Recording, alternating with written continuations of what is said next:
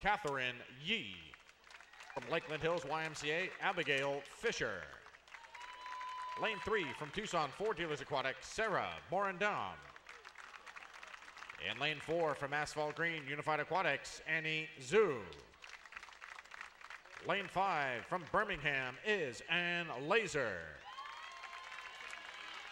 Lane six from Neptune Swimming, Taylor Young.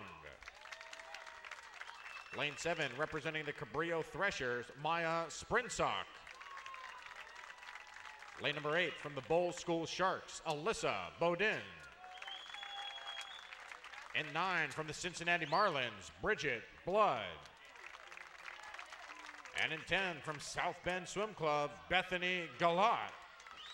Consolation final, women's 100 meter breaststroke.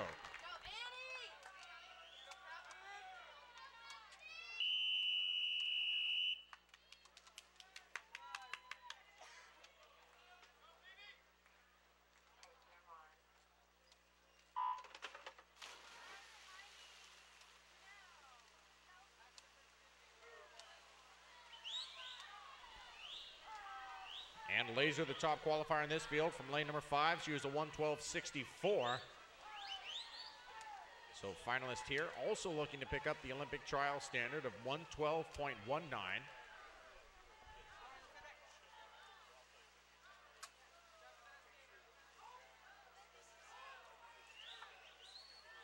Now quickly from lane number eight, it looks like Alyssa Bodin of the Bolles School Sharks, and it is Bodin at 33.05.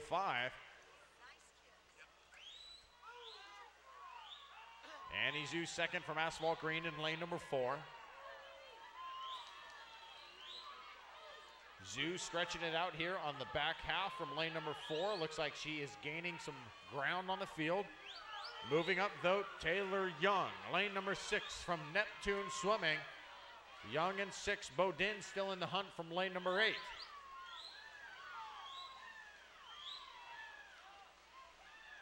This race will go to Annie Zhu of Asphalt Green in lane number four, 111.34 the winning time.